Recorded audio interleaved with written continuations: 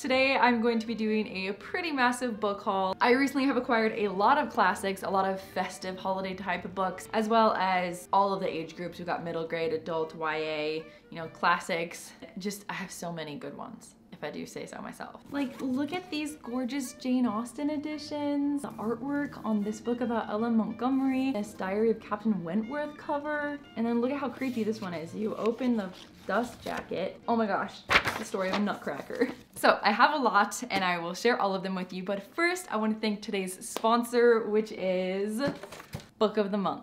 I was so excited when they wanted to work with me again because I absolutely adore this book subscription service. In my opinion, they are just the top of the top in terms of offering freedom to skip a month or give you the best options in terms of titles that they offer and also getting early releases. They just do everything right and I'm slightly obsessed with them. So for those of you who don't know, Book of the Month is a super popular and fast growing online book service for any type of reader. Each month they offer five different picks and you can choose which one you are most interested in. And what I love that's super unique to Book of the Month is that if you don't like any of them, none of them are really calling to you, you can just simply press skip month and then you don't have to pay anything that month and you just skip it. But then on the flip side, if you like two books, you can choose two. So I absolutely love that freedom that I have in being able to choose. So how it works is the Book of the Month team vets hundreds of books and gives readers their choice from a curated selection of new and early release titles. So you can spend more time reading and less time researching. And like I mentioned, you can skip a month, it's completely risk-free. Another one of my favorite things is that they get early release titles.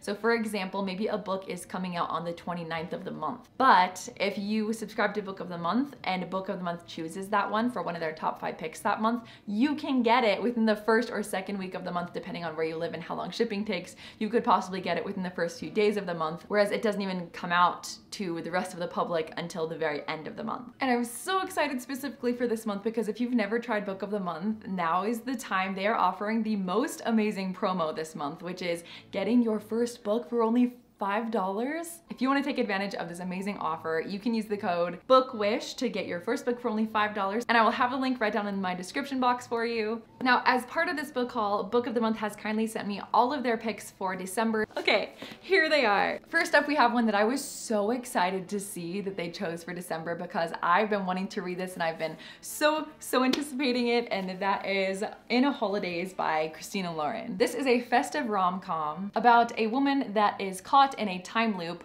I think it's on Christmas Day or the day before Christmas Day, and she keeps having to relive the same day in order to find happiness. And I also love that it is set in Utah. That is where I live, and I started reading it and I recognize some of the places in it, which I think is really cool. Next up, we've got a contemporary fiction called This Close to Okay by Leesa Cross-Smith. It's about how a near tragedy brings these two strangers together who might just have the ability to save each other's lives. I think this is definitely gonna have to deal with some hard-hitting topics, but I think it's gonna be really good. And then we've got the thriller for this month, which I'm so excited about. It's called The Wife Upstairs by Rachel Hawkins. And what I love about this is that it's a twist on Jane Eyre. It has gothic vibes, but it's set in the South here in the US. On the inside of the dust jacket, it says a vivid reimagining of one of literature's most twisted love triangles. A reimagined modern day thriller that has gothic vibes. I am so here for. And then we've actually got a collection of short stories called The Office of Historical Corrections a novella and stories by Danielle Evans. So from what I know, it's an insightful collection of short stories that kind of cut to the heart of contemporary life here in America. And then we've got another thriller and it is called People Like Her by Ellery Lloyd. So this one is about an influencer mom and one creepy follower that might just make you want to stay off of your phones for a little while. On the top it says followed by millions, watched by one. Oh, that sounds so creepy. So those are all of the picks I am most excited about in A Holidaze and The Wife Upstairs. I cannot wait to dive into these two. So thank you again to Book of the Month for sponsoring this video. Now let's dive into the rest of the book. Uh, let's start with my favorite category, classics. All right, first up, I got these two Jane Austen novels. I got Northanger Abbey and Emma. These are the Wordsworth Classic editions, I think? Yeah, the Wordsworth Collector editions. I got these on Book Depository. I love the Emma one. It has these really like sparkly strawberries. Can you guys see that? They have glitter on them. This is a light pink, like a very light blush pink cover. I have been collecting these every other month because I have a Jane Austen book club and you can join. I have the link in the description box. The book for December and January is Emma, so I just recently got Emma. So yes, I love these and I am so excited to eventually have all of them. Next up, I have a few winter and Christmas themed classics. First up, I have Snowdrift by Georgette Heyer. So it's Snowdrift and other stories. Okay, I have to read to you guys the first sentence. A thin covering of snow already lay on the ground when the Bath and Bristol Light Post coach set out from Holborn at 2 o'clock in the afternoon of a bleak December day. Doesn't that just sound perfect for December? And then next up, I have Midwinter Murder by Agatha Christie. And again, this is another collection of short stories, but by Agatha Christie. And I'm pretty sure that unlike the Snowdrift one, these are actually all either winter themed or Christmas themed. This is going to be perfect for reading in the evening while I sit by the fire and drink some hot chocolate. There's nothing like a good mystery in winter time, in my opinion, especially if it involves murder. And then the last festive classic that I have is called An English Christmas, edited by John Julius Norwich. Because what this is, is so amazing. It's a collection of classic literature that's all set during Christmas time. So for example, okay, so one of the first parts is called Dinner at the Westons from Emma by Jane Austen. Because part of Emma does take place during Christmas, they took the part that takes place during Christmas and put it in this book. So they have all these famous authors and they've taken and compiled all of their Christmas Christmas stories or Christmas parts of their novels so that you can just indulge in your favorite classic authors during Christmas time. On the back, it says, this year go carol singing in the Cotswolds with Laurie Lee, uh, shop for presents with Virginia Woolf, or eat far too much with Agatha Christie. Celebrate Christmas at Chatsworth in the workhouse or marooned on the ice with Shackleton. It even has William Shakespeare in here. And Tolkien, I didn't realize Tolkien was in here. I'm so excited. It's got Nancy Mitford, Charles Dickens, George Eliot.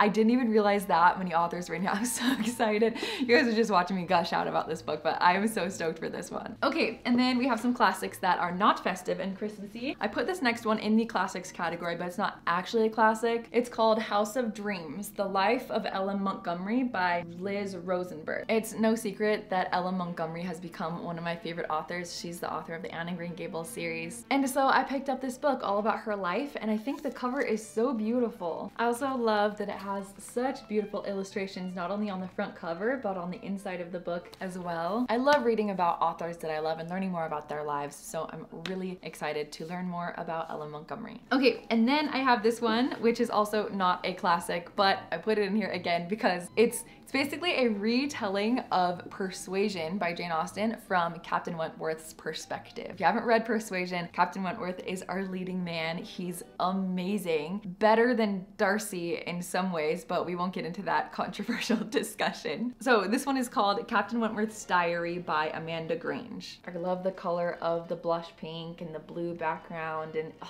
so pretty. So I picked this one up because in Persuasion, we don't really get to see a lot of what Captain Wentworth is thinking, what's going through his head. So I'm really excited for this. Obviously, I'm not expecting the writing to be like Jane Austen, but I love living in any Jane Austen world for as long as I can. So I had to pick this one up. And then for our last classic, I have Miss Pettigrew Lives for a Day by Winifred Watson. This edition has beautiful French flaps also, there are illustrations in this edition, which I love. I'm always a fan of illustrations wherever I can get them. And this one actually has a movie adaptation with Amy Adams. And I picked this one up because obviously I love classics, but it's set within a 24 hour period and I love to read books that are all set in one day. It's kind of a Cinderella, not retelling, but it has Cinderella vibes. From what I know, Miss Pettigrew is kind of down on herself and then she comes in contact with this really rich, really posh lady, I don't know much about it other than I think that she like hires her to help her and in the process she kind of transforms into a new person. And I think it's just gonna be a really good story. Okay, that is all for the classics. Next up, let's do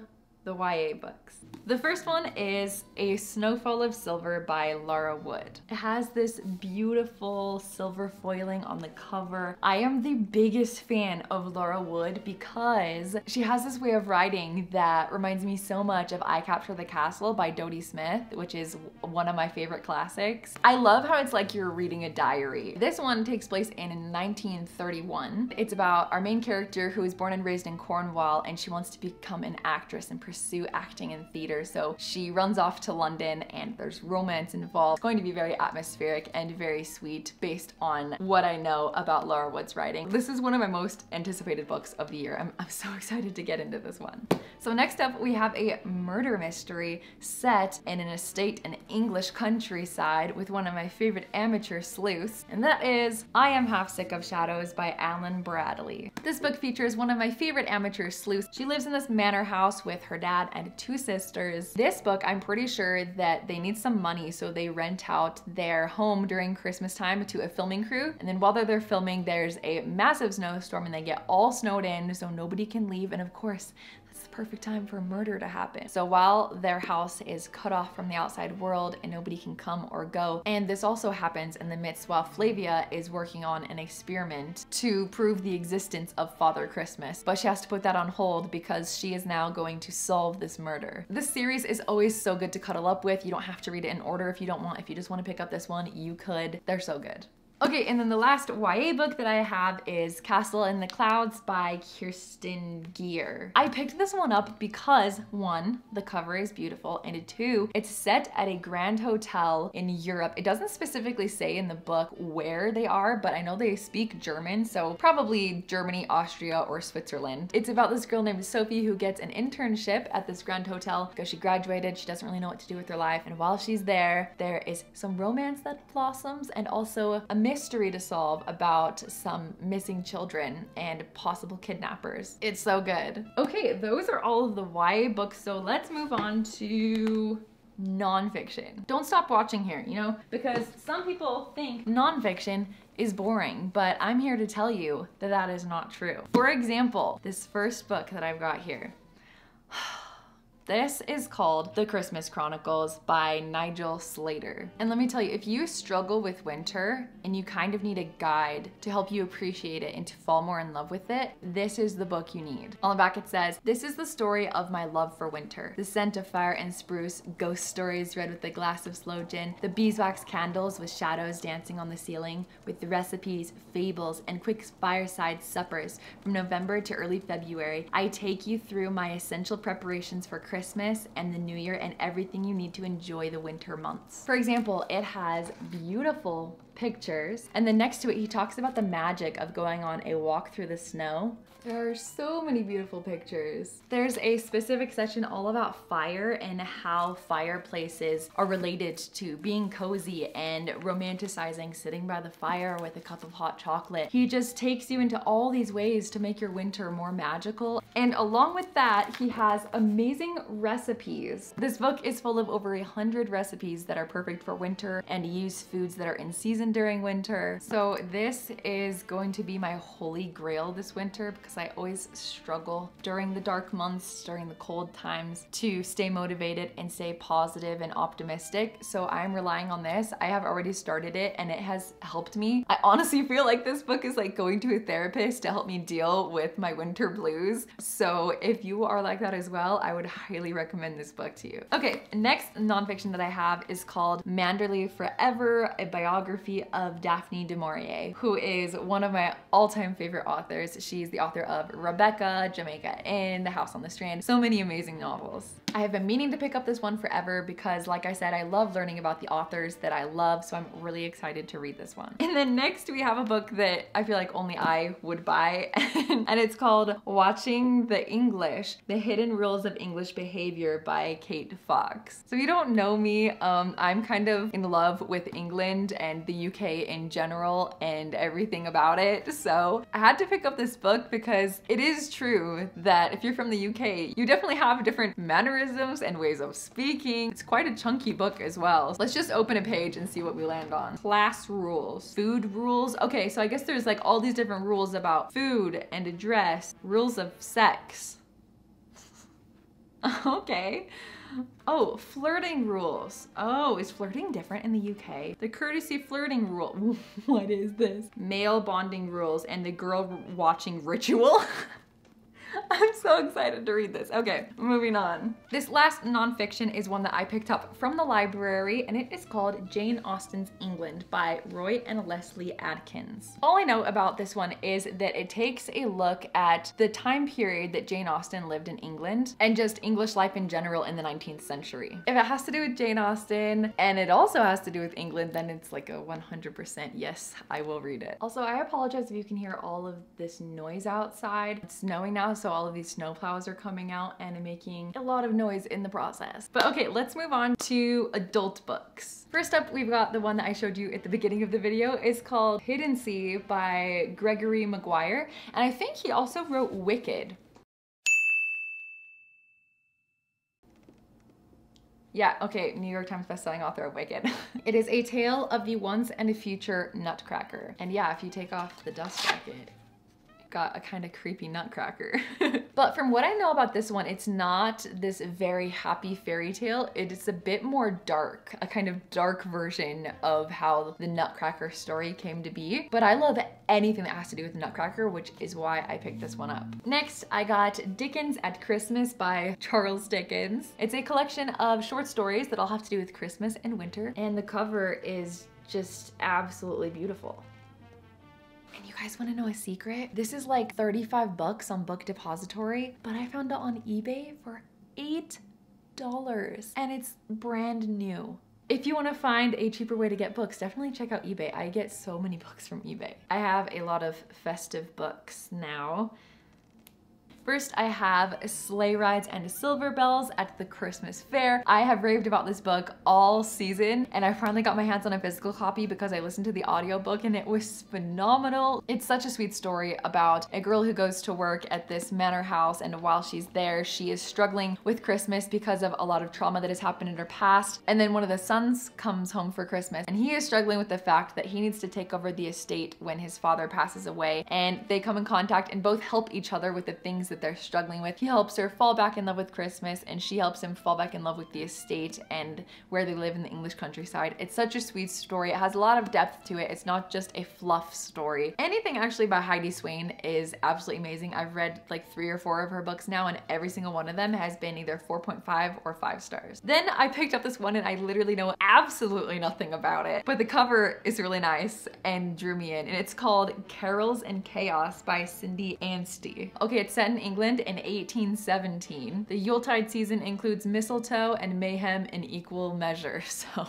Ooh, I think there's actually mystery involved. Okay, wait, hold on. It says falling in love would be a disaster for either of them, but staving off their feelings for each other becomes the least of their problems when a devious counterfeiting scheme reaches the gates of Shackfold Park and Kate and Matt are unwillingly swept up into the intrigue. Okay, so it's mystery, romance, Christmas time, winter vibes. I'm even more excited for this now. And then I have A Holiday by Gaslight by Mimi Matthews. This is a Victorian Christmas novella that I have raved about. I am obsessed with this book. It's a proper romance, so there's no steamy scenes in it. It's about two people who started courting, kind of arranged by their parents, kind of not, and they just didn't really go together well, but they decided to give it a second chance and they have eight days at Christmas time. They gave themselves eight days to see if they could get to know each other better and if they could fall in love. And it's so sweet. And then I got this book. I could have included this in the classics category, but I didn't. It is The Secret Diaries of Charlotte Bronte by Syrie James. So I think this is based on the diary of Charlotte Bronte, but it's fictional that's all I know about it and that's why I picked it up. I will, like I said, read anything that has to do with Brontes or Jane Austen or Agatha Christie. Okay, that is finally all of the adult books. So let's move on to middle grade. This first one is called The Incorrigible Children of Ashton Place the Mysterious Howling by Maryrose Wood. I picked this one up, one, because I love the artwork on the cover, and two, because of a tagline that I saw about how it's this governess who gets, I think, one of her first governing jobs. But when she gets there, she sees these like wild kids running in the woods. She's like, what? And she becomes a governess to these children that are like essentially wild. And she goes to teach these children how to be civil um, in time for a holiday ball that they have to go to. And I'm really excited for it. Next, I have two books that have to do with the Nutcracker because like I said, I love it. So I have The Drosselmeyer's Dream, a Nutcracker retelling. This is the vintage Christmas edition because it has black and white pictures in it. Funny thing is, when I picked this one up, I went to Goodreads to see the reviews and there are zero reviews for it. So hopefully it's good. And it says that it is a retelling for fans of medieval fantasy and old-fashioned fairy tales. And that is what drew me in. And that is all I know about it. And then I have The Toymaker's Apprentice by Sherri L. Smith. All I know is that it's about a boy who is an apprentice to his dad, who is a toy maker, until one day his dad gets kidnapped and disappears. And then our main character gets enlisted by his cousin to find this magical nut to save a cursed princess who has become a living doll of wood. He must save this princess and his father from the fantastical mouse queen and her son, the seven-headed prince of mice, both of whom have sworn to destroy all who bear the name Drosselmeyer. I think out of all of the Nutcracker retellings, I'm most excited for this one. And then I got Enola Holmes because I saw the film and I loved it so much and I plan on getting the rest of them as well. And then I have two Christmassy ones and the first one is The Vanderbeekers of 140 141st Street by Karina Yan Glass Glaser. From what I read about it, it kind of gives me Mary Poppins vibes-ish because it's five days before Christmas and all of a sudden the landlord refuses to renew their lease. So these five siblings have to figure out a way to change the landlord's mind. But what they ultimately need is a Christmas miracle. And I heard that it has like children's classic literature vibes that just reads like a very timeless tale. And then I also got Aggie Morton, Mystery Queen, Peril at Owl Park. I got this one because I saw my friend Liv.